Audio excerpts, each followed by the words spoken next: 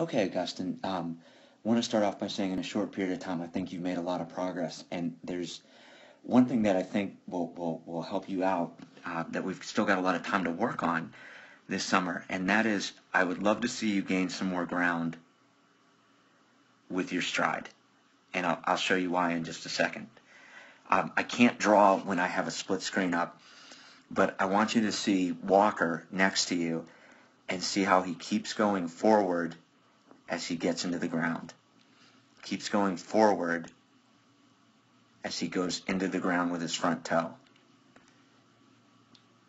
Forward. Okay? As we get caught a little short, you can see as we are coming down, we're almost coming back a little bit. If we kept going forward with our front foot, watch as your heel comes down and watch your front side. See how we've lost all of that in our swing? Right? We can see how that weight has come forward. As our front heel is coming down, see how that weight has started to come forward, and that's just energy that we have that we have lost. Now, Walker, as he reaches and keeps going forward, as his front heel hits, it's an immediate, watch his belt buckle and his back elbow, he's able to engage he's able to engage. See how the back elbow works independent of his hands, and right as his heel hits, he immediately gets into his rotation. He's able to immediately get into his rotation. So again, as we compare, as our heel gets down for Walker versus as our heel gets down with you, you can see how Walker's already started to engage his back hip you can see his hands are still back in the slot.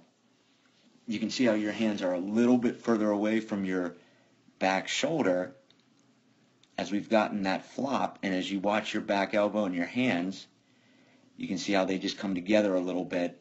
And we can see how that weight has started to come forward, right?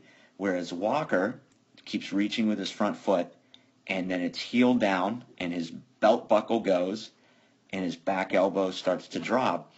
And you can see his top hand is still just a fist away from his back shoulder. And it, you can see as we come through, our arms just get a little bit ahead of us, and it's just costing us some of our efficiency. He stayed down pretty well. We didn't quite get to extension. We got a little bit of an around action, but I don't want to get too far ahead of myself. Um, I really want to see you work the rest of the summer on getting that reach with our front foot, that reach with our front foot. You can see how you, you're going forward, but if you kept going forward, right, we could keep our weight on our back hip instead of getting that wasted motion right there.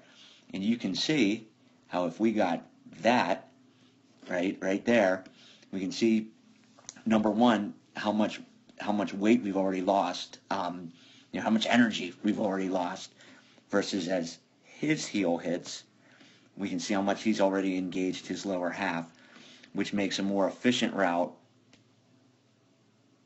to the ball. You do a nice job compensating there, pulling straight through. You have a lot of good things going on. I just think we can be more efficient. We'd be able to stay back on more pitches and we would get a lot more pop if we lost that part. Again, Walker's heel coming down there, right? And we're going to do some things that, that help to get us to that point right there.